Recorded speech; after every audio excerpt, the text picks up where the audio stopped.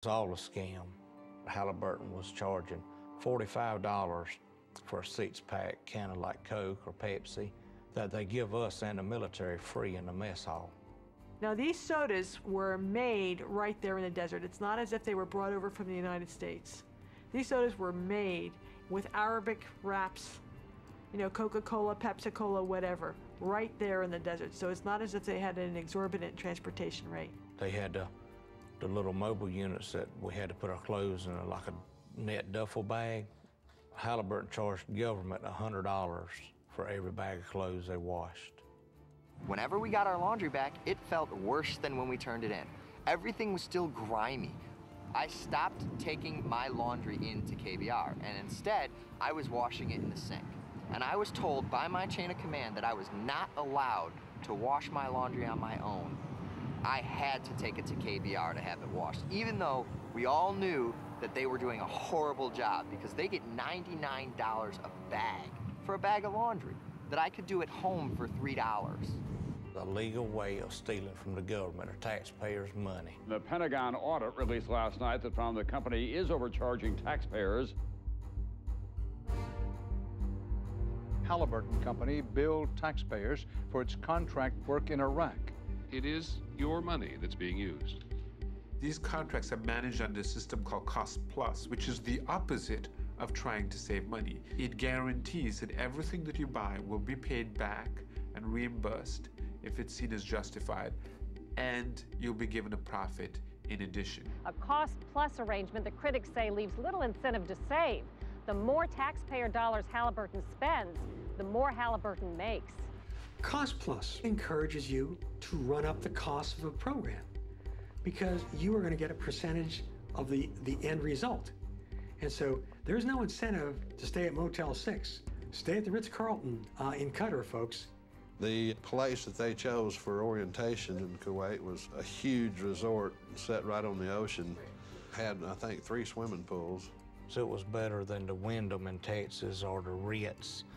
It was fancied up. Marble floors, mahogany woodwork. It was just beautiful. They had sea-doos, jet skis they could use. You could go and rent wave runners and go out and play in the water. We were renting wave runners, and we got paid by the hour to do it. I was told this don't question it, enjoy it. Several government agencies are currently investigating if Halliburton overcharged for work already completed in Iraq. They had five star meals catered in every day. It was so lavish. Rows of vegetable platters, beef platters, fish platters. It's a cost plus contract. KBR looked at it, the more money we spend, that's more money we get in our pockets. We had it made over there compared to the military. I mean, those guys were living in tents, and we had air-conditioned private hooches. The tents that we were staying in were completely moldy, and everybody was getting sick with respiratory infections. They're getting paid millions of dollars. Why can't they even give us a tent that doesn't make us sick to live in it? The soldiers are sleeping on these little cots out in the middle of the desert while these KBR executives are driving these $40,000 vehicles. They and their secretaries are driving at least a 30 to $40,000 vehicle. This secretary lives in this complex, eats her meals in this complex, has her laundry delivered to her, has no reason to go anywhere at any time, but has a brand new top of the line Ford or Chevy pickup with everything imaginable on it that you could put on it chrome rims and leather interior and CD players and all these extra amenities that you know you don't really need in wartime. Why do they need an H2 Hummer? Why do they have Cadillac Escalades in Iraq for Halliburton managers? What is the purpose? One invoice that I saw was for about $7,000 for one month for a SUV on a lease. It was a three-year contract comes up to uh, roughly $250,000. A vehicle that you and I could purchase at the local dealership for probably top of the line $45,000. And the taxpayer paid you know, $250,000 and never did own the vehicle.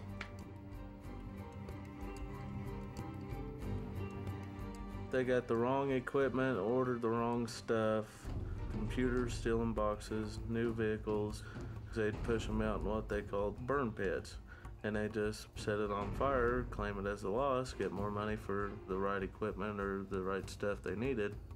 Why would you need to order somebody else's wrong equipment just because somebody pays you to do it? And you burn it and destroy it. You got brand new trucks over there, and there, there's not even oil filters. So when the motor blows, what do you do?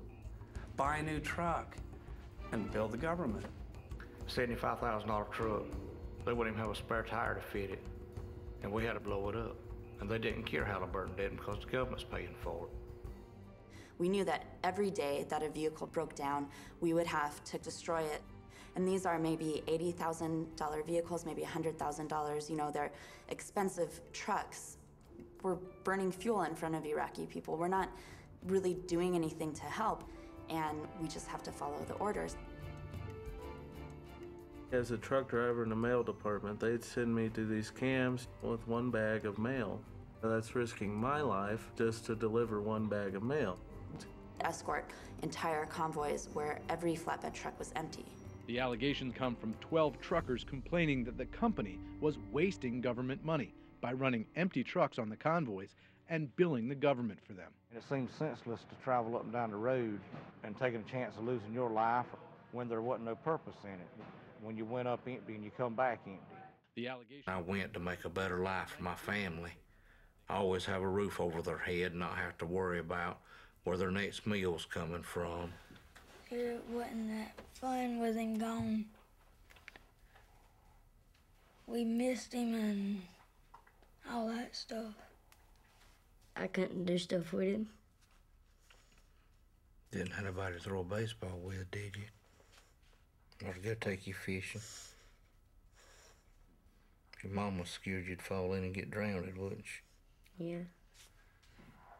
I went over there and I got my health messed up and got shot, bricked, knocked out, and everything else. I felt like not only I can make a decent living for my family and better myself, but I'll be doing something for my country. You know what I'm saying? I'm supplying the military and these guys where they can eat and help fight when we have to. But then, you know, you're looking and you're going up and down the road empty. Halliburton's charging the government for every camp they go by. And your buddy's getting killed for, un, for no cause at all. Not even as much as a band aid on the truck. That's how Halliburton was making their killing, making their money. Is a legal way of stealing from the American citizen and the military. Halliburton is accused of hundreds of millions of dollars in improper charges. Pentagon auditors have found potential overcharges of $61 million.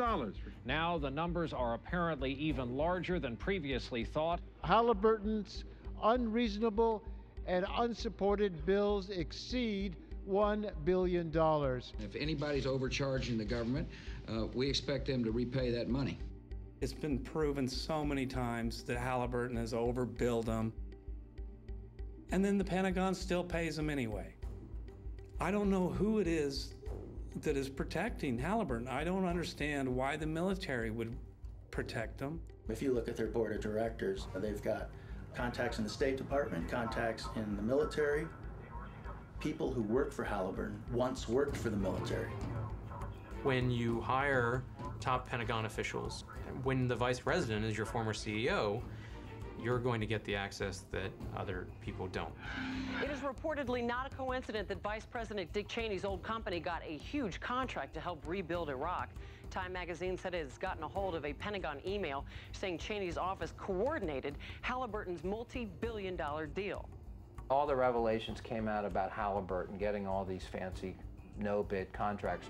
There was not a single hearing in the Congress, House or Senate, about the mysterious bidding processes around Iraq and Halliburton. Um, that's ridiculous. The oversight responsibility belongs to the United States Congress. It belongs here, and it's not happening here. The Senate should spend a little less time advertising allegations of wrongdoing and spend more time talking about what is going right. If any